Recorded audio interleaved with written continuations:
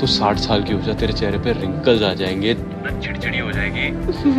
लेकिन तू आज जितनी खूबसूरत है ना तो हमेशा मेरे लिए उतनी खूबसूरत रहेगी क्योंकि तू तू है यार।